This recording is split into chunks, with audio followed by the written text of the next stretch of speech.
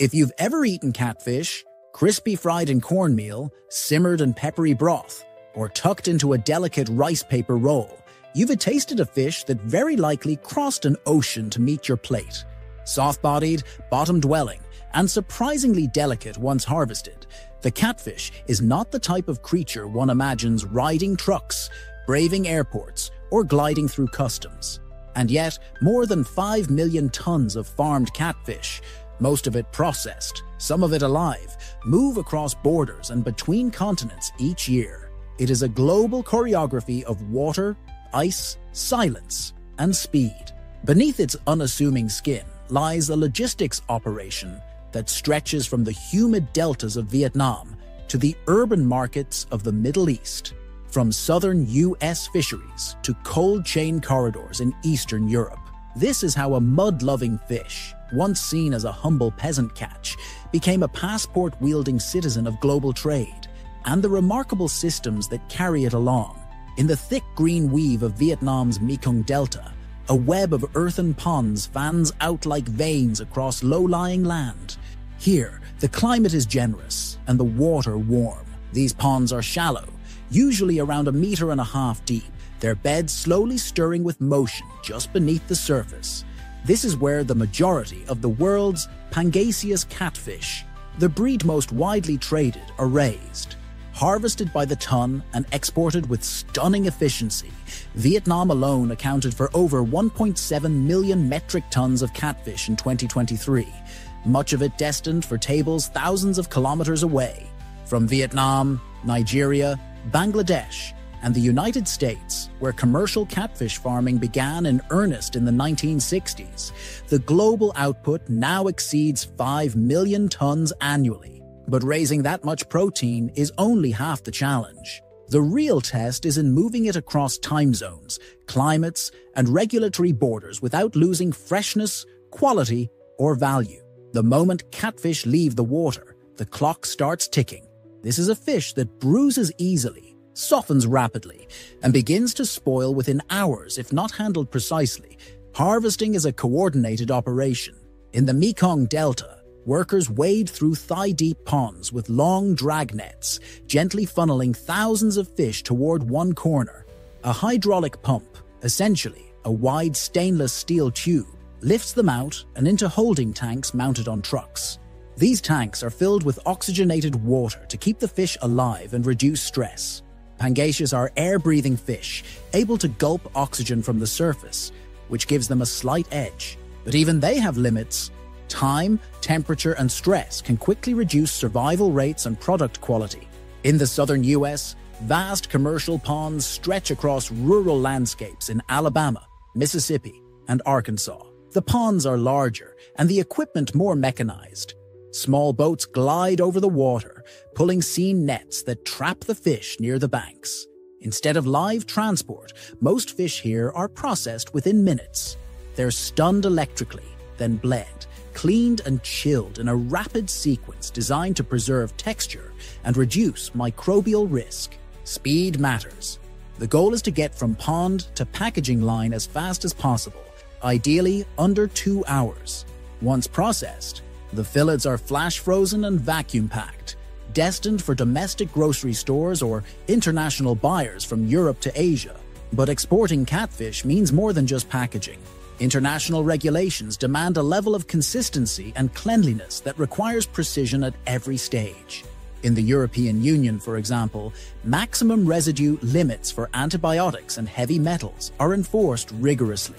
One misstep, like a slightly elevated level of formaldehyde in the water, or trace amounts of unapproved additives in the feed, can halt an entire shipment.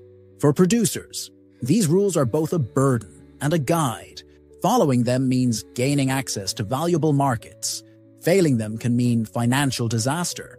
Even once processed, catfish must be kept cold. Very cold. Inside each shipping container, there is a delicate balance at play. A typical refrigerated container carries around 27 metric tons of fillets, stacked in neatly sealed bricks, all kept at minus 18 degrees Celsius. Just a small fluctuation rising even one or two degrees, can trigger ice crystallization. which breaks down the soft flesh and ruins the texture.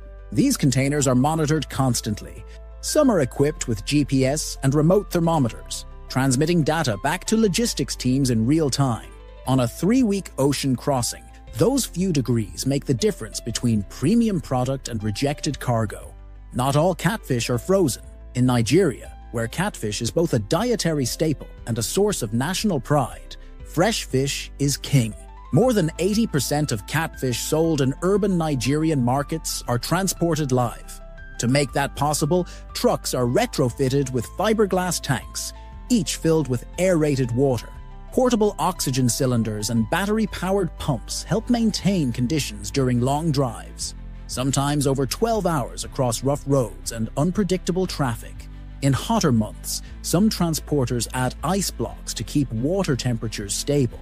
The goal is to deliver fish that are still moving, still breathing, signs of freshness that buyers trust. Every country has its own methods. In Bangladesh, catfish are often moved by motorbike in blue plastic barrels sloshing with water. In smaller towns, vendors carry them in buckets, walking door to door with live fish. The logistics are simpler, but the challenge remains the same keep the fish alive, or at least keep them fresh long enough to sell. Across all these systems, the focus is unwavering speed, hygiene, and control.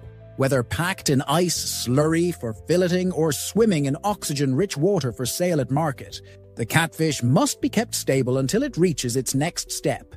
Environmental pressures also shape the trade. In Vietnam, saltwater intrusion is pushing farms farther inland, increasing transport distances. In the US, droughts have forced some producers to reduce pond volumes, while in Nigeria, fuel shortages have made it harder to run aerators and chillers consistently. These aren't abstract concerns. They're real constraints that force innovation. Some farms are now experimenting with solar powered oxygen systems. Others are testing biofilters to recycle transport water and reduce waste. What unites all of these efforts is the need for predictability. When you're moving millions of tons of fish every year, even small delays ripple outward. A road closure near Lagos can spoil a shipment. A refrigeration glitch on a container ship in the Gulf of Aden can mean tons of fillets need to be destroyed. The systems built around catfish are layered with backup plans, redundancies, and decision trees. In this world, a single fish may start its life in a muddy pond, and within 48 hours, it can be sealed in plastic, coated for traceability, and stacked in a cargo hold bound for Moscow or Dubai. This is what it takes to move soft fleshed fish across continents. Not just nets and trucks, but refrigeration algorithms, stress reduction strategies, and regulatory fluency. The work is steady, quiet, rarely visible to the people who eventually eat the fish. Yet, in the next phase of this system, beyond the ponds and initial processing, a whole network continues the handoff. Cold chain corridors, packing line robotics, real time temperature controls, and the exacting rhythms of international distribution. In a chilled warehouse along the Mekong, fillets of catfish move with quiet urgency. Just hours ago, they stirred in shallow ponds under the sun. Now, under the hum of industrial refrigeration, they pass from blade to vacuum sealer, destined for markets thousands of kilometers away. Workers sort them quickly but precisely, every cut shaped to match a distant preference. Some buyers want them thick, others lean, others paper white. Each box is a code of logistics harvest time, pond origin, chilling temp, market destination. These fillets never freeze by accident. They pass through ice slurry tanks where saline water cools them in minutes. Liquid ice surrounds the flesh more completely than cubes ever could, locking in firmness before air has a chance to dry the surface. From there, they move into pre chilled packaging rooms where air itself is scrubbed and kept cold, ensuring bacteria don't have a head start. Once packed, the cartons are loaded into reefer containers, temperature controlled chambers where a 2 degree fluctuation could mean rejection at the port. In Lagos, fish are moved alive, inside fiberglass tanks mounted on pickup trucks. Catfish swim under the glow of solar powered aerators and spare oxygen tanks. The roads are rough, the hours long, but freshness is king. Vendors monitor water clarity and carry frozen bottles to cool the tanks when midday heat creeps in. Here, logistics isn't always high tech, but it's every bit as precise. Meanwhile, in air cargo warehouses near Ho Chi Minh City, catfish trimmed to near perfect uniformity are packed for flight.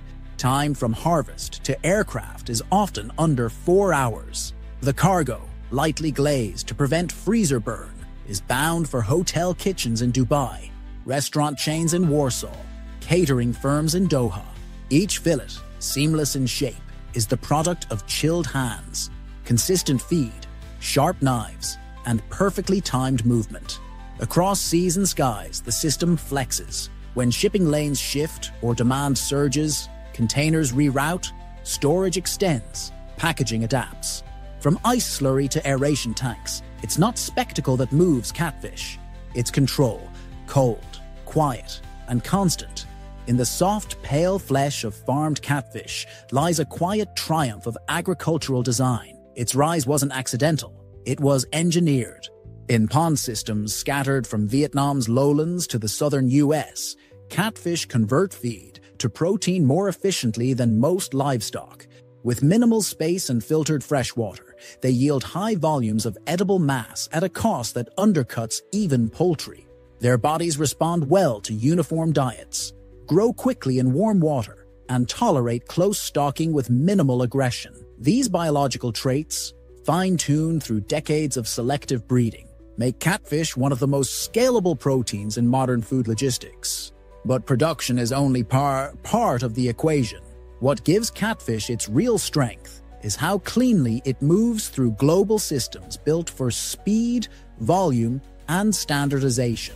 In port warehouses along the Gulf of Guinea and the Danube Delta, forklifts raise palletized cartons of frozen catfish with a rhythm that mirrors container ships scheduled down to the hour. Inside each box is the result of a cooling chain that never broke.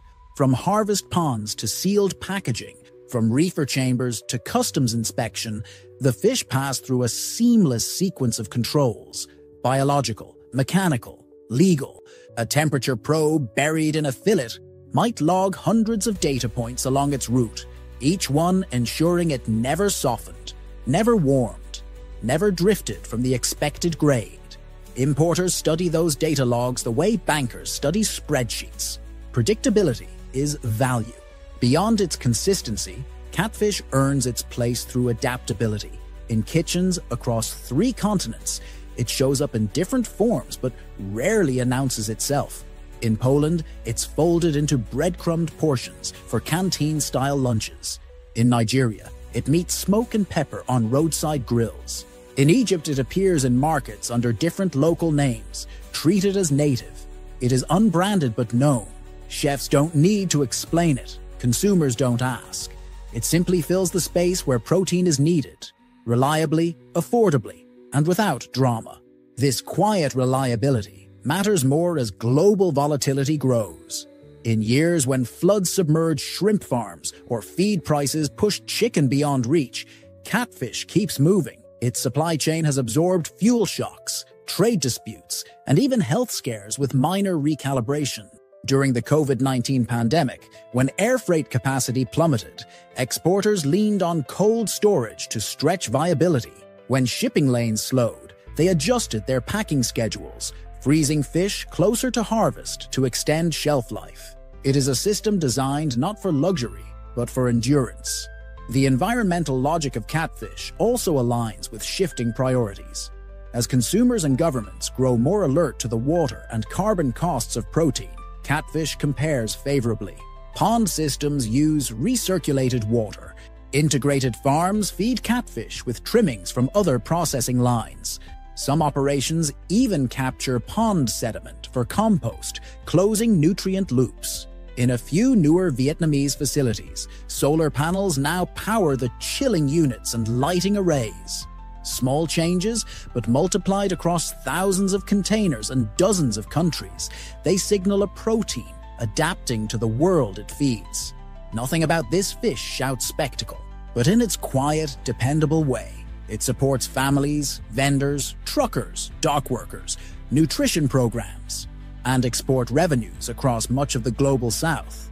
A fish that once sifted through riverbeds has become an invisible spine in urban diets far from any pond, and it moves not on marketing, but on systems, chilling units that never fail, boats that arrive on time, and packaging that stacks just right in a freezer aisle. Its value is never in its name, but in the space it fills. Always there, always cold, always enough. From the low ponds of the Mekong to the freezer aisles of Europe, catfish moves not with spectacle, but with precision. It is lifted, cooled, sealed, and tracked through systems that rarely make headlines but never stop working. Behind every portion, grilled on a roadside, plated in a hotel, or simmered in a family kitchen, are the quiet marvels of insulated tanks, temperature logs, ice slurry chillers, and transport routes mapped to the minute. It is a fish shaped by calm repetition, not drama, and that's exactly why it endures. Next time you see catfish, fried golden, steamed with herbs, or laid neatly in frozen trays, pause to consider the network that brought it there. Not just the farm or the fillet, but the hands, the chill, and the care that kept it firm, fresh, and ready. Behind its soft flesh is a hard infrastructure, cold, clean, constant.